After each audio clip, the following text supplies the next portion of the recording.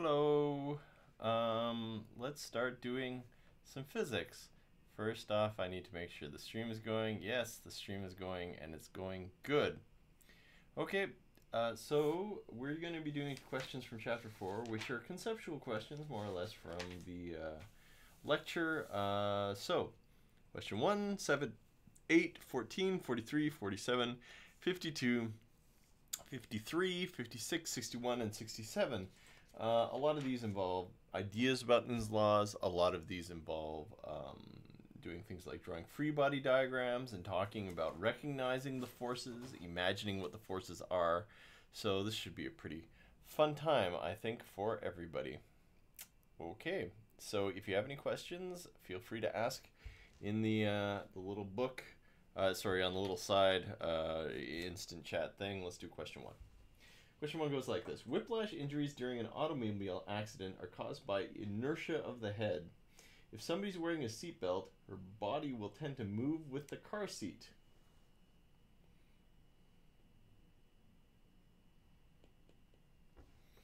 Uh, so the car seat moves and the person moves with them.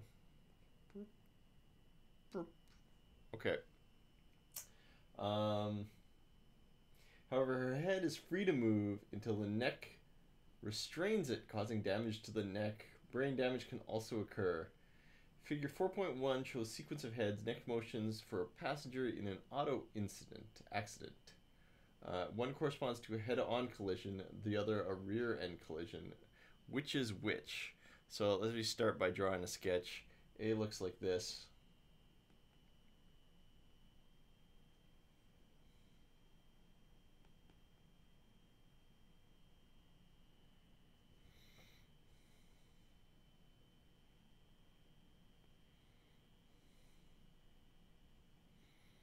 So these are their necks. Uh, B looks like this one.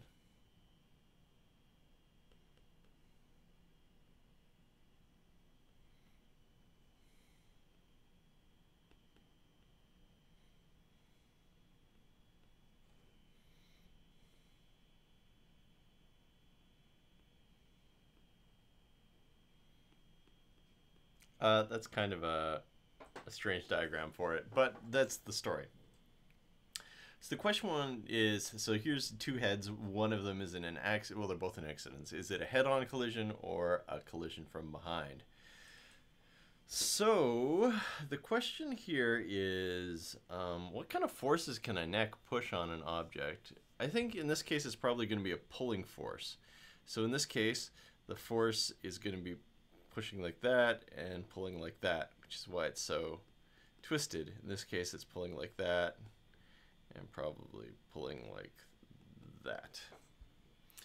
So in which case, so in this case, their acceleration is going to be forward because the force is forward, and in this one, the acceleration is going to be backwards. In which case do you accelerate forward? Is that when a car hits you from the front? Here's my car.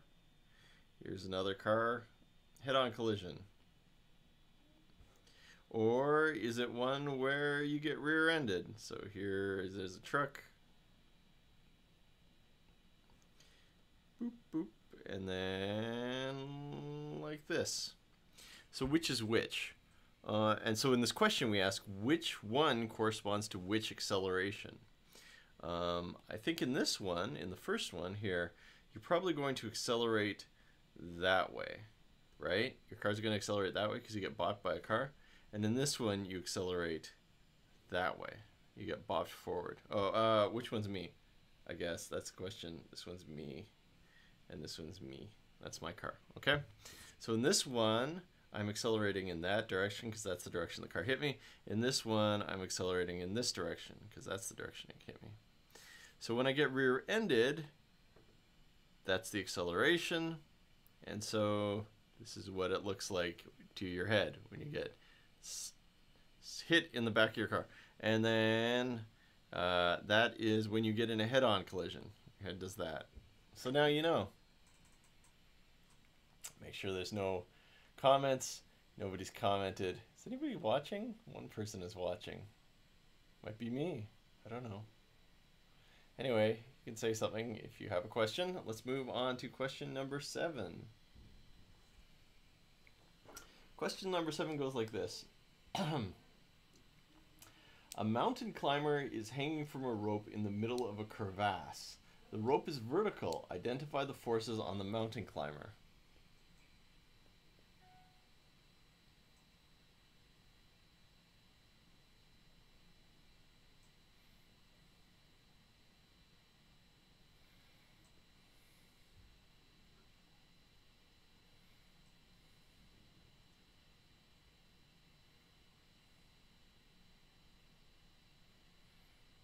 So here's your mountain climber.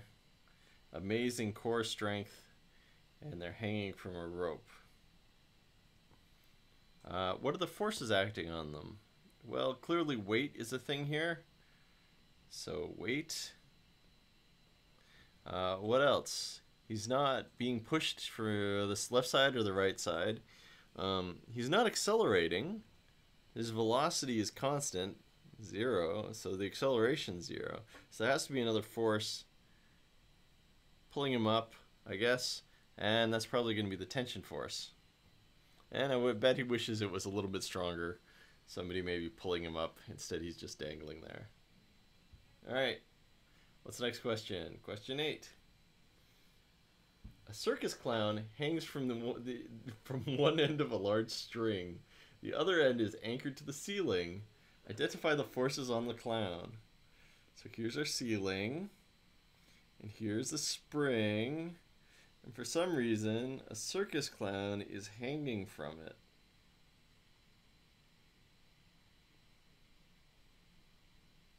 Oh, wait, hold on.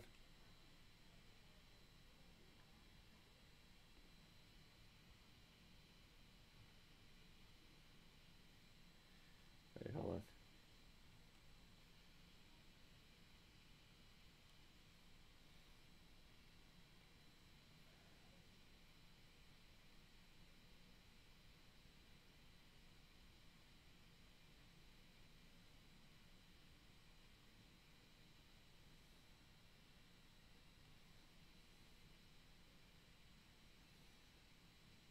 Right, there you go. A circus clown is hanging from a string, reaching his hand out to grab something, whatever. Uh, what are the forces on him? Again, he's still. So there's no acceleration.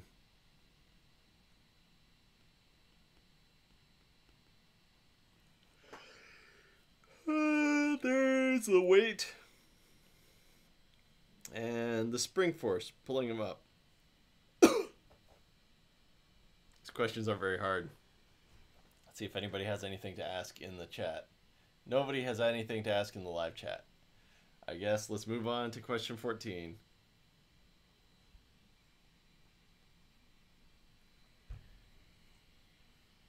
Question 14 goes like this. A constant force applied to object A causes it to accelerate at 5 meters per second squared. The same force applied to object B causes an acceleration of 3 meters per second squared.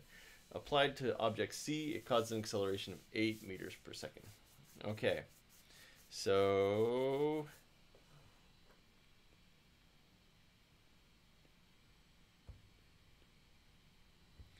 A, B, C. So apply a certain amount of force apply a certain amount of force. All right, here, I'll draw it over here. F net, F net, F net.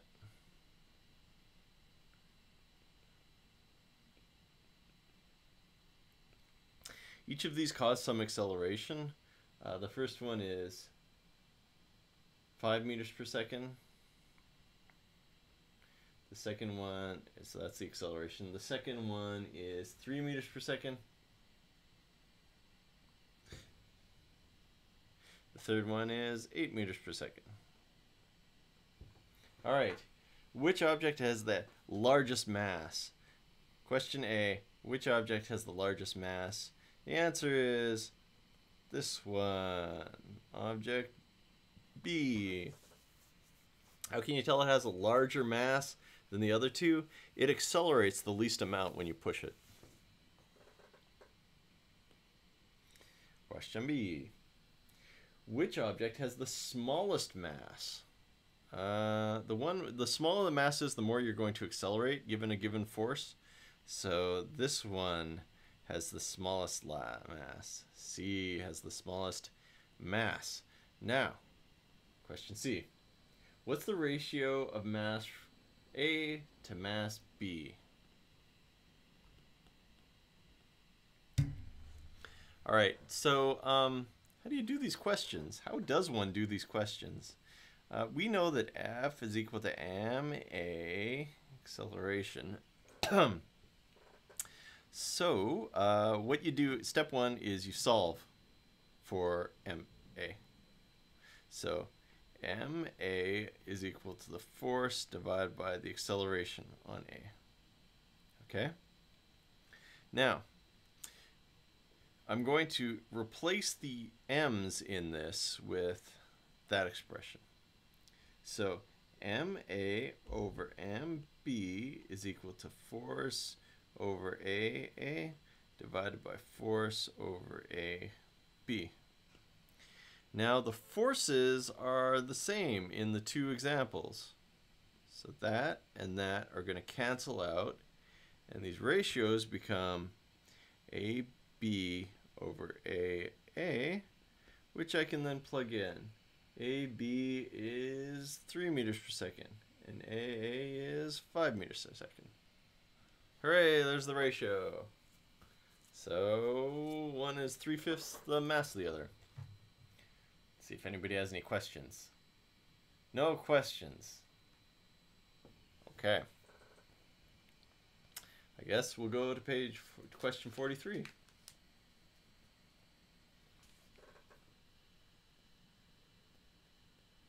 Oh man. Problem number two of this is really messed up uh, on this page. So on this page, it's got a sleeping baby. Sleeping baby. And it's all like, I'm just asleep. I got a pudgy arm. And I got one of those pudgy baby hands.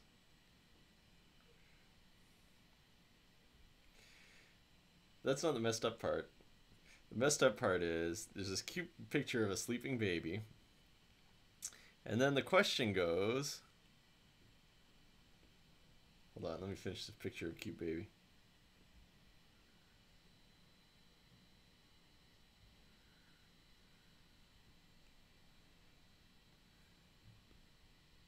All right. And the question goes An automobile has a head on collision passenger in the car experiences a compression injury to the brain. So it's a head-on collision. Ooh, that pen's too big. There we go. All right. Head-on collision. You got these two cars. All right. All right. So, um, if this car is me, I'm going to accelerate in that direction when I'm hit. so the question asks, which injury is most likely to be is the injury more likely to be in the front or rear portion of the brain? How do you figure that out? You got to draw a little brain. So here's the face of my well, me, I guess. And inside is a brain.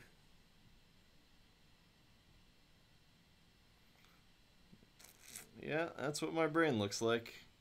Okay, so if I'm going to accelerate this way, one of the walls of my skull are going to hit the brain. Which, which side does the brain feel the force? The brain's going to get pushed in this direction. Which side of the skull is going to get pushed? This side of the skull, right there, is going to push the brain. It's going to hit you right in the language centers of your brain, right here. Right right where all your memories are. And your sense of self. And your ability to sue. No, wait, that's not right. Anyway, Long story short, that's kind of a disturbing question. This is a biophysics textbook, so they're like, hey, let's always connect this back to biology. But I don't know.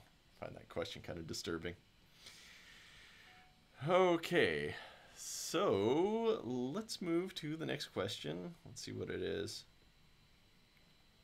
Uh, 43. 43 goes like this.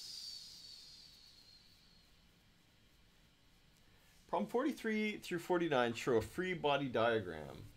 Draw the diagram. That's step one. So the diagram looks like this. There you go.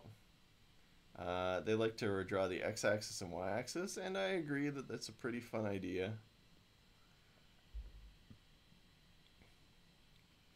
And then the forces. There's a force pointing this way, and a force pointing this way,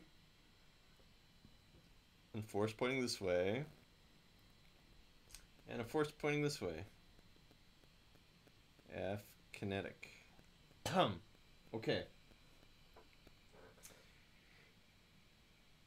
Indicate the direction of acceleration. Oh yeah, and then down here it writes F net. Don't draw the net force. See this? See this? Don't draw this on the diagram. Whatever you do, don't draw the net force on the diagram. You can draw it wherever you want. Don't draw it as part of the diagram. Okay, so the question asks, which direction is the acceleration going to be? It's going to be in that direction. Okay? Hmm.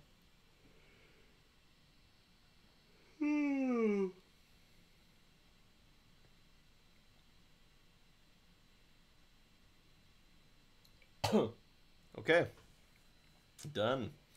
Um, so then the next question is write a short description of a real object for this for which this is the correct free body diagram. Okay, so what object are we talking about? Um, you'll note that every time in this book we write down a force, we're writing down a letter. And each of these letters correspond to one of the forces we covered in class. What does W stand for? Weight. So it's obviously an object. Y is obviously the vertical axis in this case because the weight of an object always pulls down. Uh, what's this guy? N. That stands for normal force. Normal. Oh, sorry. a normal force is the force that uh, an object um, encounters when it tries to push through a surface. So there's obviously something solid here that's pushing back. Normal force. This T usually stands for tension. So tension always points in the direction that the rope is hanging. So there's evidently some kind of rope here, or cord, or wire. And then F usually stands for friction, and the K stands for kinetic. So there has to be kinetic friction pushing this way.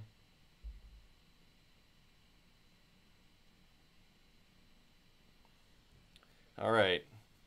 So can you come up with an example of a system where there's a rope pulling to the right, and then there's kinetic friction pulling to the left, and then there's a normal force pushing up and weight pushing down? Try to figure out one right now. Think it through. I'll give you a couple seconds.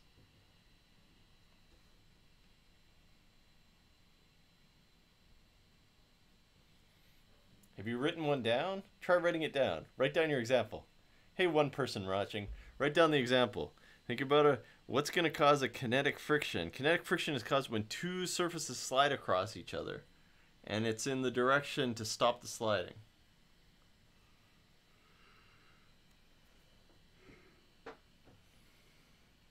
Have you got the answer? Okay. So, um, so let's see a common example.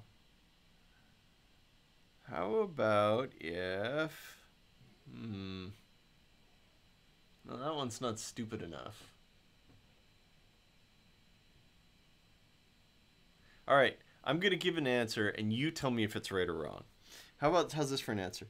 You have a, um, what is called? A treadmill. And the treadmill's turning. Okay. And then you have, uh, you know, the front of your treadmill, and you tie a rope to that. And then you attach a, um, an inconsiderate cat. The thing about this cat is for some reason it likes how it feels when the treadmill runs under it. So the cat lies down and starts to purr as the treadmill passes under it. How about that? So the rope holds the cat in place and the treadmill turns under it. Do you think that's the right answer? I'll give you a couple seconds to think it through.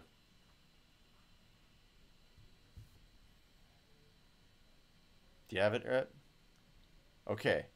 Write the answer down as yes or no. Three, two, one. All right, now tell me. No, you got it wrong. This is a bad answer. No. No. What's wrong with my answer? Is the cat accelerating in this example? No. Do I need there to be an acceleration? Well, when we set up the problem, we argued that there was, that the thing is moving to the right, because it's going to feel a net force because the tension is much bigger than the kinetic friction. So what is it? Um, so it's like, uh, I don't know, imagine you have a crate and you're working in the crate factory pulling crates around. So this is you you're unhappy with your life choices and you're pulling a crate. Pulling a crate forward. You're pulling the box forward and you pull it really hard so it accelerates forward. Friction tries to slow it down. How's that for a story? That works. Not too original, but whatever. When you work in a crate factory, you don't really have much cause to complain. 47. Alright, here's what the diagram looks like. Here's X, here's Y. Here are my forces as they're labeled. N force points that way. W force points that way. K force points that way. F net points that way. okay, so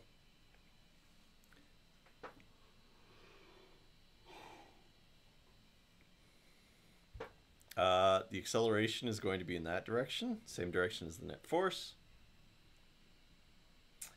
Next question, try to come up with an example. Okay, I didn't like the first one where I tried to make you come up with an example. So I'm going to draw three examples. So uh, how, how do we parse this before we go on?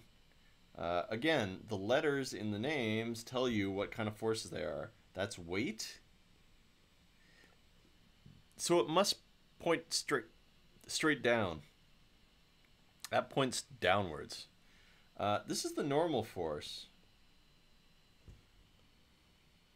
There's our object. The normal force is always perpendicular to uh, a solid surface. So the normal force points in that direction, and weight must be pointing in that direction. So it's an object on a slope. And then friction, kinetic friction, points that way. Uh, so that means that the object is uh, feeling friction. So which of these three examples do you think it is? It's a penguin.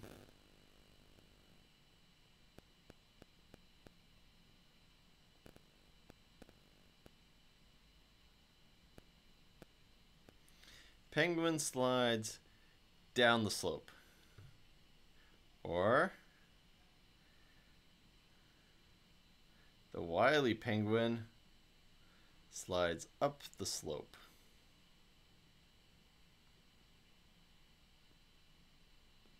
Or the lazy penguin just stands still on the slope.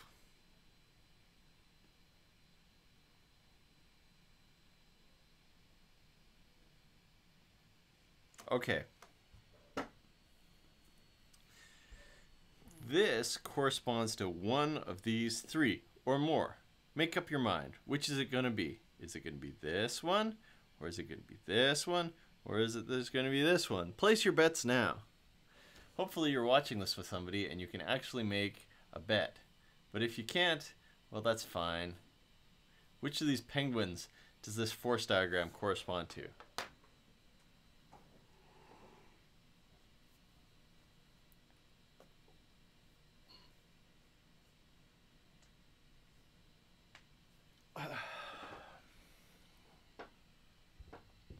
Ready? Okay. So let's compare these to our force diagrams. The normal force pushes them up in all three cases, fine. Gravity pushes them down, so the force of the weight pulls them down, that's fine. What's the distinction here? Well, okay, can it be this one? What's the acceleration? The acceleration has to be down the slope. Is this one accelerating? No, it's sitting still. So it can't be that penguin. Not this pengy. No. No. Why isn't my thing working?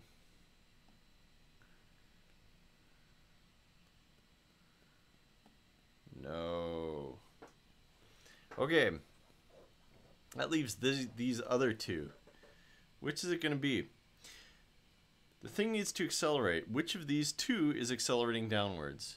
You know from experience that this one's velocity is just going to get bigger and bigger and bigger. So this one's accelerating downwards. This one, its velocity is going to get smaller and smaller. And so it's also accelerating downward direction. So both of the these top two have a downward acceleration. So that's not it. What else can we use to discern the difference between the two? Kinetic friction. Both are sliding, that means kinetic friction. Which direction are they going to feel a friction? This one's going to feel a friction in that door, that direction. The kinetic friction always serves to slow down the surfaces. Kinetic friction doesn't like when two surfaces rub against each other. So kinetic friction on the penguin points that way. Kinetic friction in this case points opposite. Okay.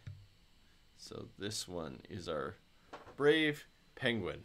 Let's see if anybody has any questions. No questions. Okay. 52.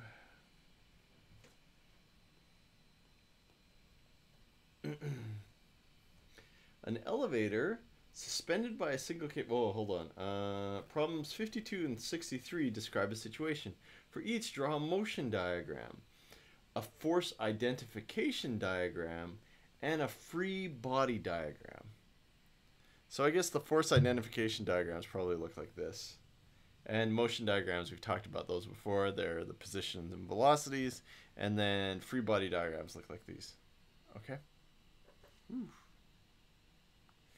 All right, so 50, 52. An elevator suspended by a single cable.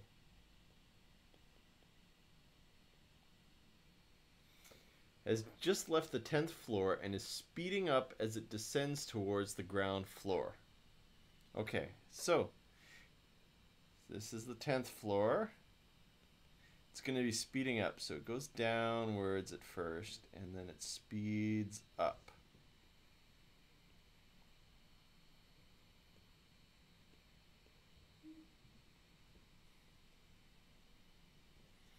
Okay. Which direction is it accelerating? It's accelerating in that direction. Downwards. Okay. Now let's identify the forces. Um, okay, so this is vertical motion, so there's probably going to be weight to it.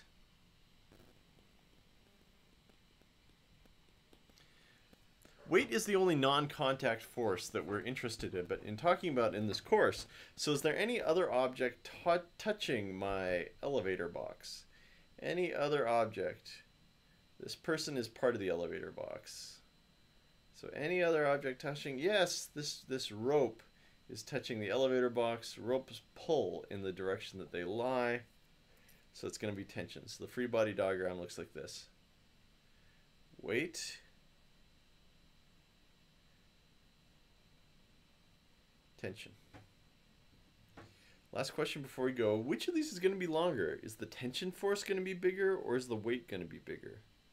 Well, to answer that, which which of these what's the direction of the net force? The net force is in the direction of the acceleration.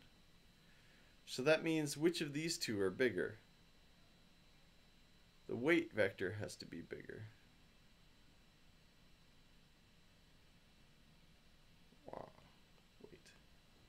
That's a little excessive, but nobody's nobody uh, nobody's worried about that. Let's see if there's any other questions. No questions. Two people are watching. Hello, second person. Welcome to the stream.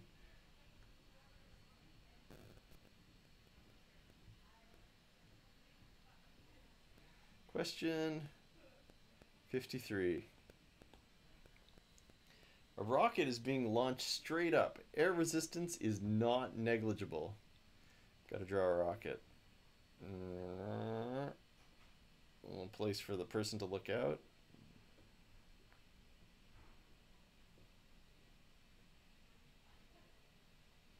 Okay. And rockets need rocket fins. And you got to draw the fire coming out the back. Hold on, fire's red.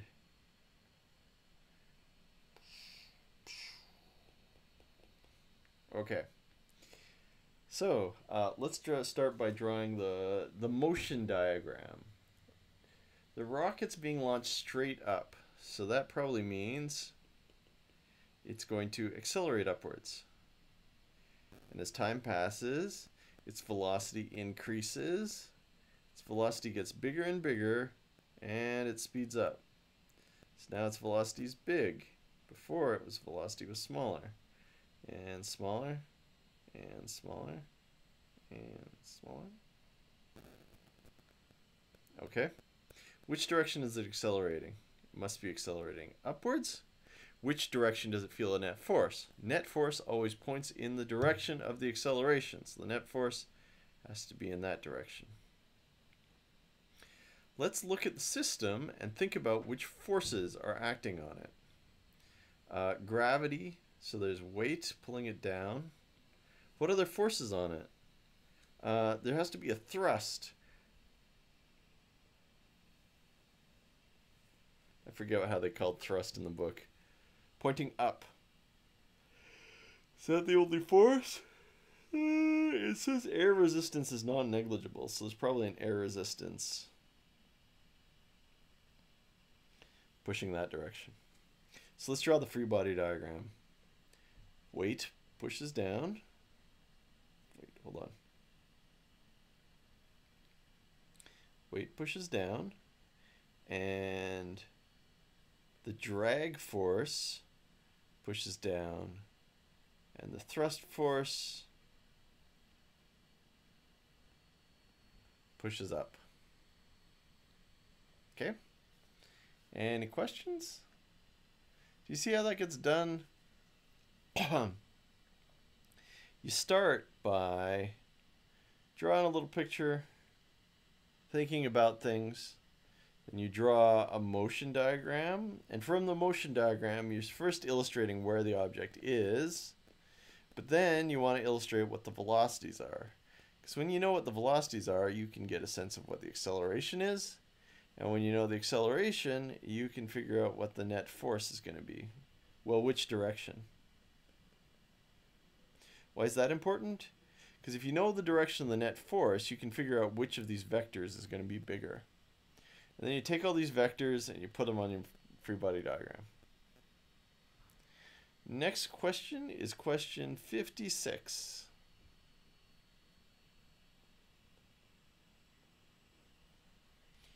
Let's check the live stream, see if anybody has any questions. Oh, somebody left. They were watching and they left. Okay, so this question goes A ski is going down a 20 degree slope. A horizontal headwind is blowing in the skier's face. Friction is small, but not zero. Okay. So always start by drawing a picture. There you go, 20 degrees.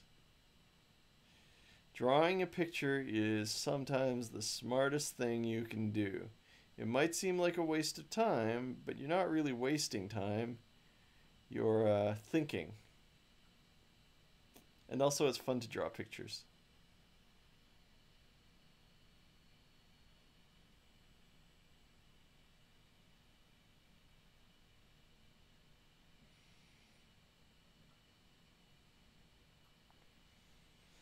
And uh,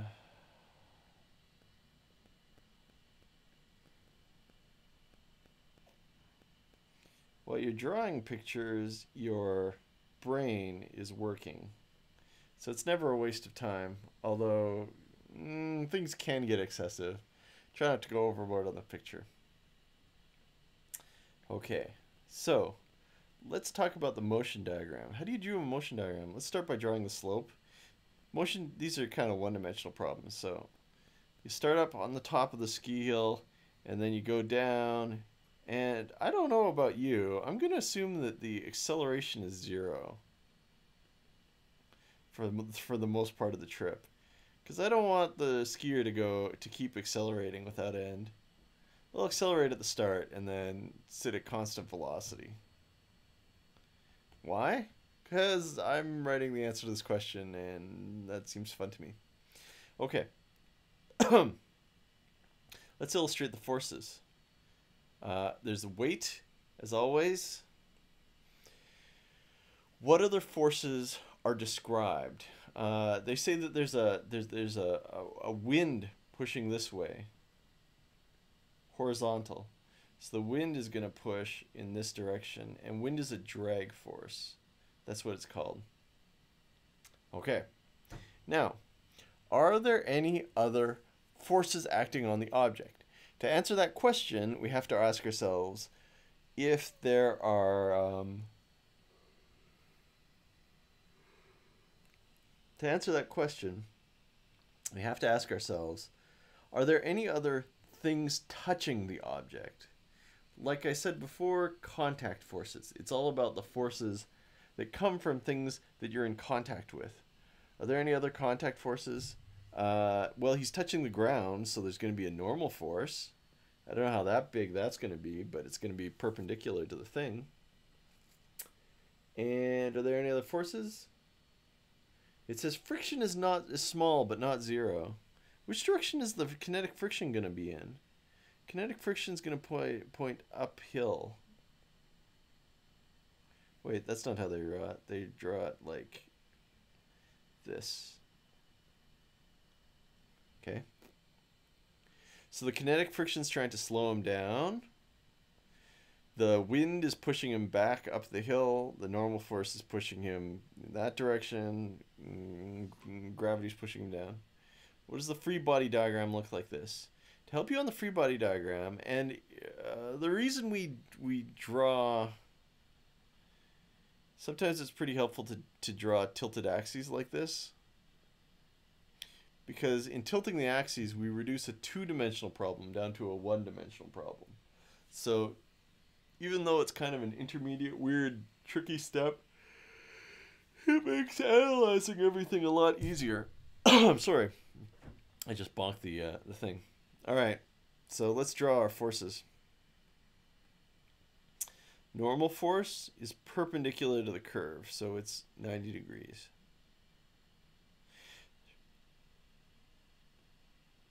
The weight is straight down kinetic friction points up the slope and the drag points this way. And that's it. Oh, I am sleepy. Oh, dude. I don't know why I'm so sleepy. I'm going to drink some water. Hold on.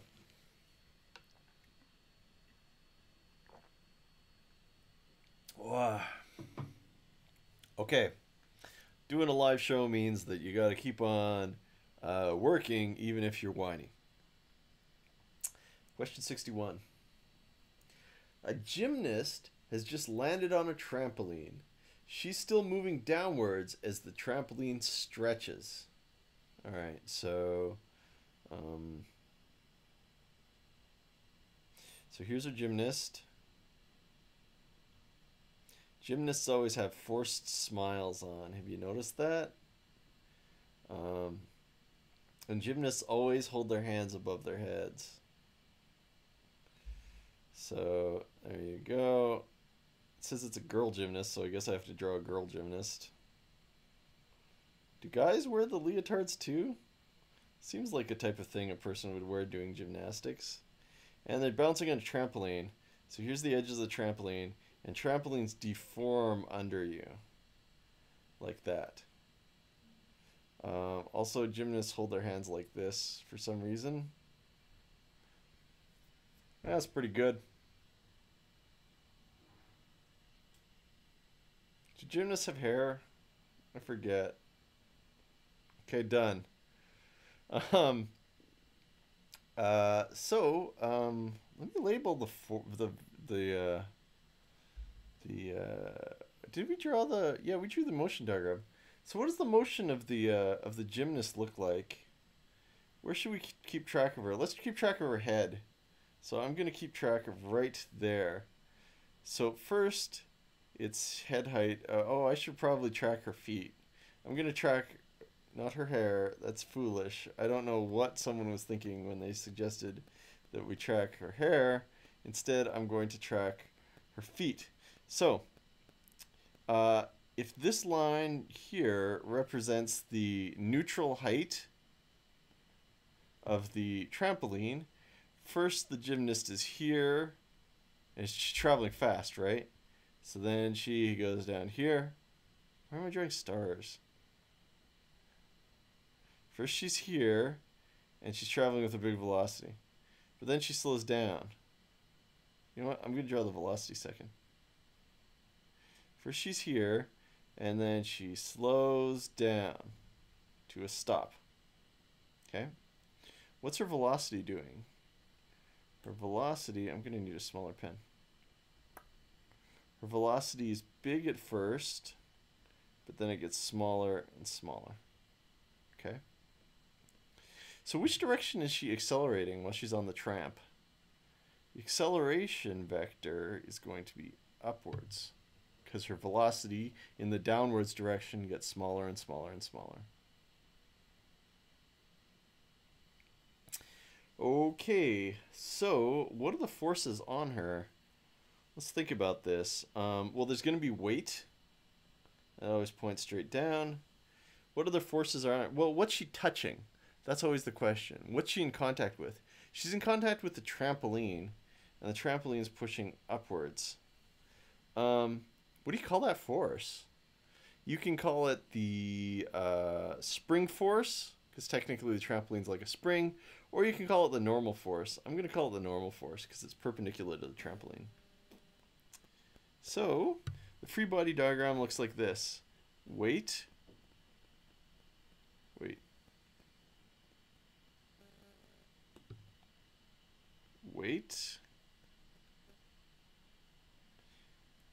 And then the normal force has to be bigger because the net force has to point upwards. Does that make sense? All right. Um, one question you might ask is, hey, how do you know whether this one's going to be bigger than that one? How do you know that this is going to be true? Um, that's good. Good question, Morty. Uh, the idea here is that the acceleration points up, and so the net force points up. You know that there are two forces acting on the object, so this one must be bigger. Okay. Uh, time for the last question. Question 67. The pen's too big. There you go. 67 goes like this. The frog hopper, a champion leaper of the insect world, can jump straight up at 4 meters per second. The jump itself lasts a mere one millisecond before the insect is clear of the ground. Draw a free body diagram of the mighty leaper while the jump is taking place. Okay. Um, I don't know what a frog hopper looks like. So I'm going to just draw a frog.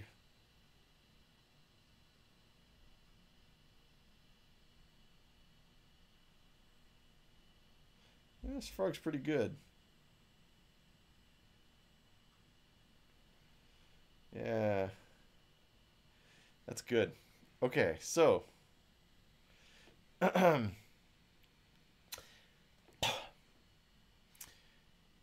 jump, the frog has to accelerate upwards, right? Why does it have to accelerate upwards?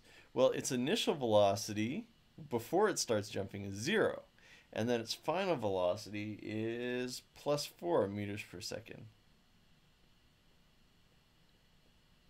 So the acceleration has to be in the positive direction. Does that make sense? Okay, so uh, what forces are on the on the frog? There's the weight. What other forces? What else is the frog in touch with? Well, uh, there's the there's the normal force. Wait, it's not called that in this book. It's called little n. Um, are there any other forces? There's the mythical frog force, but I mentioned before that that's a myth. So there's only the normal force. Uh, so I guess to jump high, the normal force has to be bigger than the weight. So this has to be bigger than that, which is fun. Makes sense. While the jumping was taking place, is the force the ground exerts on the frog hopper greater than, less than, or equal to the insect's weight? The normal force has to be bigger than the weight because you're accelerating upwards. All right. Well, that's it for today's questions. Let's see if anybody has any questions on the thingy. Nobody. Nobody has any questions. All right. Well, uh, that's it for today. I hope you had fun. See you later. Stop streaming.